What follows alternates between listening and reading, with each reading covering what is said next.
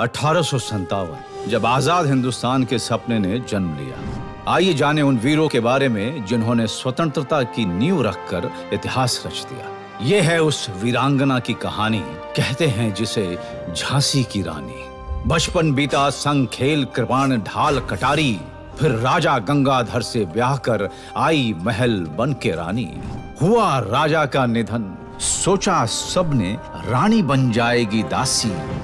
अवसर देख ब्रिटिश राज के फौजी पहुँचे द्वार झांसी। चंद्र तिलक माथे पर हाथों में तलवार, साथ अपनी महिला सेना के किया ज़ोर का वार। पुत्र दामोदर को कस लिया पीठ पर दिया परिचय साहस का लड़ी सात दिन होके निडर।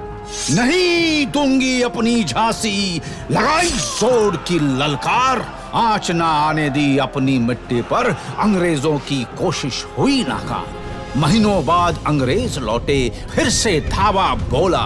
ग्वालियर में थी लक्ष्मीबाई फिर उठा युद्ध का शोला।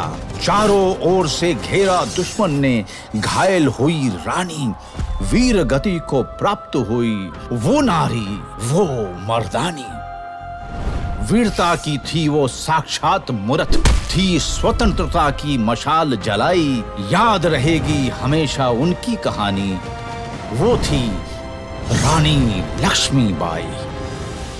अठारह के जंग के किस्से आज भी हर भारतवासी के मन में जोश और उत्साह भर देते हैं। ऐसे ही वीरों की प्रेरणादायक कहानियाँ लेकर हम फिर लौटेंगे।